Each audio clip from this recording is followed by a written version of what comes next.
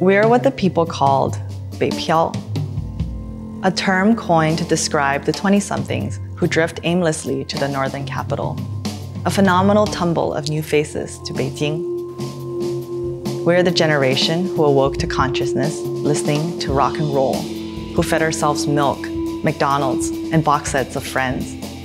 We are not our parents with their loveless marriages and party assigned jobs, and we are out to prove it.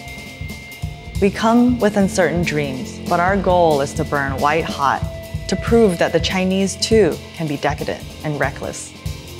We're not good at math or saving money, but we are very good at being young. We're modern day May 4th era superstars, only now we have MacBooks. We've read Kerouac in translation. We're marginally employed and falling behind on our filial piety payments, but we're cool. Who is going to tell us otherwise? Hey guys, it's Gavin. I'm the editor at Goldthread. And wait, my face looks tense? I need to be half here.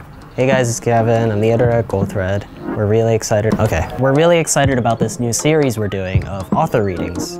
If you have any writers or poets that you would like to see appear on our channel, do let us know and don't forget to subscribe to Goldthread. what the?